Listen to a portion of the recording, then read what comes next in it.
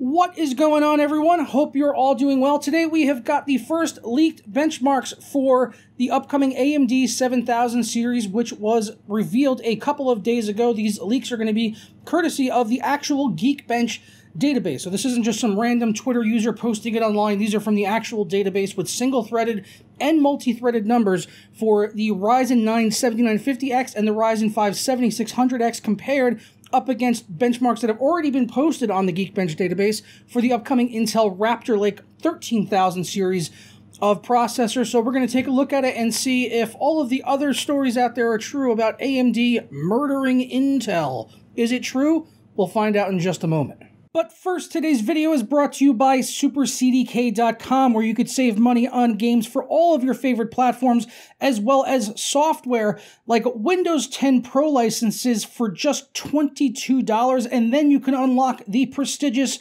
Dark Mode for Windows 10, which I honestly could not live without. It is blinding without the dark mode you guys needed in your life. And now you can also save an additional 25% off at checkout by clicking buy now on any software products over there, just go ahead and add it into your cart and put in my code JP25 at checkout and apply, and that'll bring our price from $22.44 all the way down to $16.83, a savings of over $5. And I'll walk you through how to get your key and install it on Windows 10. Go ahead and click Submit Order and complete your checkout from there. For me, that's going to be with PayPal, and then click on Pay Now.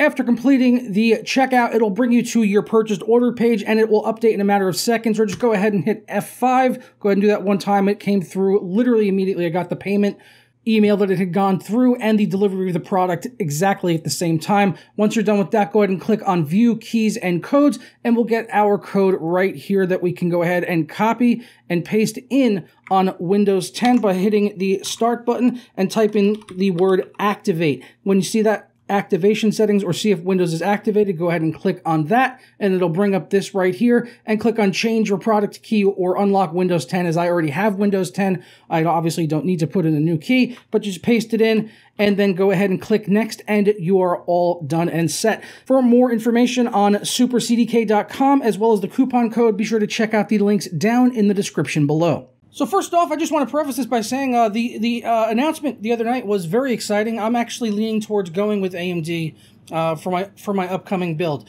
Uh, I do think at the end of the day, the, the 13000 series is probably still going to end up being the faster uh, gaming processor, but there's a lot of exciting stuff with the 7000 series, PCIe Gen 5, and all that kind of stuff. So very exciting, very affordable-ish considering the amount of performance that you're going to be able to get out of these CPUs. So I am, like I said, I'm, I'm looking to upgrade my 9900K, which is getting along in the tooth. So as of right now, I'm leaning towards going with the 7950X, but we'll just have to wait and see once these things actually come out and we can uh, see some reliable third-party testing and hopefully I can get included in this review lineup and uh, test out the AMD processors, even though they very well might end up losing at the end of the day to Raptor Lake when it comes uh, to gaming performance. So Let's shoot over to VideoCardz, who has all of this data up for us conveniently, even though you can find it yourself on the Geekbench database, where we could see the first scores coming up for the Ryzen 9 7950X, getting a single core score of 2917 and a multi core score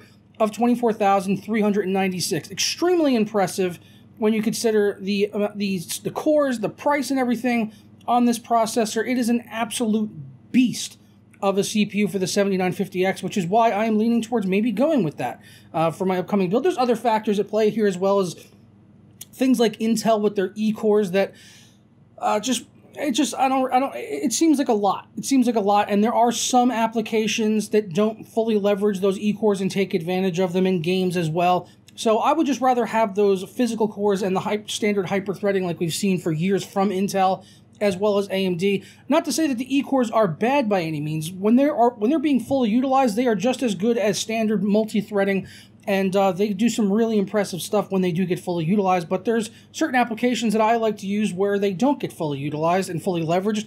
So I would just rather have all of that performance at you know at my disposal, no matter what application that I'm using. So that's one of the reasons. But also I said like PCIe Gen 5, getting that faster faster SSDs and all of that, with games starting to maybe utilize SSDs for actual game performance with streaming textures and things in DirectX 12 titles. So there you go. Let's shoot down here to this Geekbench performance chart, which was also provided by videocardz.com, where you can see we've got the upcoming Ryzen 7000 series Raphael, as well as down here we've got Raptor Lake. We've also got 12,000 series and the previous 5,000 series from AMD. So very good look here at the basic CPU performance uh, in Geekbench, where we could see the 16-core, 32-thread 7950X, as I said, pulled in a single-core score of 2017, multi-core 24396. Comparing that with the previous generation Intel, the 12900K, which is currently you know their best ones out right now, it is beating that for sure, beating the 12900K, which has a score of, 10, of 1936, and the multi-core of 172272, beating both of those handily, and you would expect it to beat the multi-core as the current uh, the current uh, 12900K tops out at 24 threads, while the 13900K is going to be jumping up to 24 cores 32 threads, but again, some of those are going to be E-cores, so, you know, take it for what it is. But there with the Raptor Lake 13900K, we see a score of 2314 for the single core, which beats the 7950X, that which gets 2217. So it's beating it there, not by like a tremendous margin, but it is winning. And then when it comes to the multi-core, even though they both are going to end up having 32 threads, it does beat it again by not like a not like a super significant margin, but it does beat it. 24,396 on the 7950X versus the 1300 900K coming out with 26,464. And uh, the 7600X actually is looking like a, like a champ because in terms of single core, it pulls in a 2174, which is actually faster than the 13700K and 13600K in terms of single core performance. But the Intel Raptor Lake stuff has higher thread counts 16 core, 24 thread, and uh, 14 core, 20 thread, respectively. So they do end up winning out in uh, multi threaded compared to the, the 7600X. But also, we don't have Ryzen 7 listed here, but that would still probably fall just behind the 13700K. So, you know, take it for what it is. But at the end of the day, what we're seeing here is that, you know, Intel is, is winning, and they may end up costing more at the end of the day, but they're uh, they're still winning. So are they murdering Intel? No. It's not a complete annihilation. I think they're both going to be very strong processors, and no matter which one you pick up, they'll probably be very viable to use for the next three to five, maybe even more so years. As I said, I'm still running a 9900K, and there's very few games where I actually feel limited. Of course, I could always use more cores for video rendering and things of the like, but it really hasn't been until the new Spider Man game where I actually felt limited with the 9900K because the 12900K in certain scenarios in that game when using ray tracing can run like 30 to 50% faster, which is definitely nothing to sneeze at. That's not like just a few frames. That's a lot. That's that's a lot of more frames there in old Spider-Man and I have the fear that we're going to continue to see that trend moving forward with Unreal Engine 5 games and more titles coming out utilizing the hardware of the next gen consoles, the PS5 and the Xbox Series X.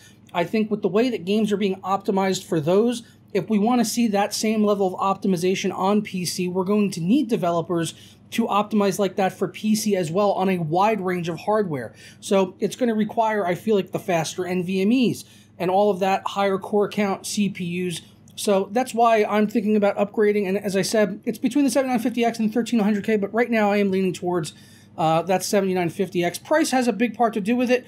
Don't have the pricing yet for the Intel stuff, but for 699 for a 32 thread CPU that boosts right out of the box to 5.7 gigahertz and an 80 megabyte cache, 170 watt TDP, which I've read reports that that is not like the true TDP. Like it can boost up to 230 watts. I think I believe was the number um, if you leave the thing fully unlocked and all of that. So honestly, the TDP part doesn't really bother me all that much maybe it won't be as efficient as previous Ryzen parts, but at the end of the day, it's more cores, more threads, and it's running faster. So as long as I don't need to upgrade my power supply, which is a 1250 watt, I'm sure I'll be absolutely fine, depending on what the uh, new RTX 4000 cards use. But if I have to upgrade, I have to upgrade. It is what it is. That's what happens with PCs. You get more powerful components, and you need more powerful uh, power supplies. It's just the way things are. Uh, but also, we've got the 7900X, which also looks very compelling at 549. Honestly, that's another one I would I would maybe even consider. 24 threads there still. It's going to be very very fast for games, probably more than enough for years to come. We've also got the 7700X at 399 and then the 7600X rounding it out at 299 so that's the full stack there uh, from AMD, at least what we've seen so far, until we start seeing the 3D parts, which already are getting rumors of uh, launching early next year and maybe seeing a showing at CES 2023. But let me know your thoughts down in the comments below on the upcoming AMD lineup. Are you going Team Red? Are you going Team Blue? Which one are you looking to pick up later this year if you are even looking to do an upgrade at all? Obviously, if you're on an AMD 5000 series or a 12 series from Intel, there's no reason for you to run out there and upgrade to any of these processors. But for people like myself that are on 9900Ks, or maybe you're on like a 2000, 3000 series Ryzen, it might be time to consider upgrading, depending on if you're seeing any, any limitations or bottlenecks in the types of games and applications that you're playing.